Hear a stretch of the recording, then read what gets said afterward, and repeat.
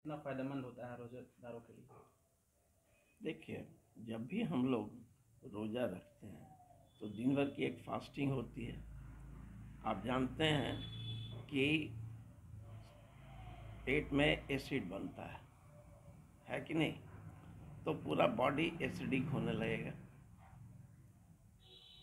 और शाम को जब हम लोग रोज़ा तोड़ते हैं, उस समय हमारी ज़रूरत क्या होती है?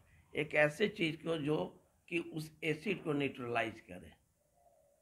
तो ये न्यूट्रलाइजेशन के लिए ही हम लोग पीन खजूर लेते हैं, जो कि पीन खजूर जो है वो अल्कलाइन है।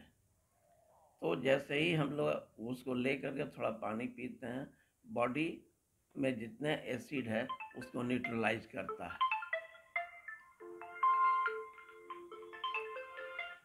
और इसी के लिए ये हम लोग के यहाँ बना हुआ है कि जब भी रोज़ा को तोड़ा जाए, उस समय पानी के साथ खजूर पहले लिया जाए, फिर बाकी चीज़ हम लोग बाद में लेते हैं।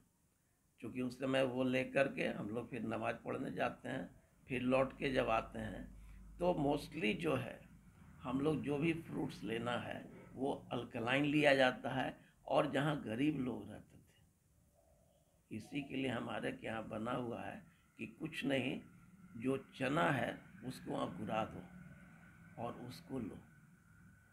क्योंकि चना या मूंग जो भी है, इस अनाज को जब हम लोग अकुरा देते हैं तो ये अल्कलाइन हो जाता है। और ये जब आप खाएँगे तो आपकी सेहत ठीक रहेगी। नहीं तो एसिड ले ऐसे है और ऊपर से और आप पूरा जो है तला छना खा लिया तुरंत तो वो एसिड बढ़ा देगा।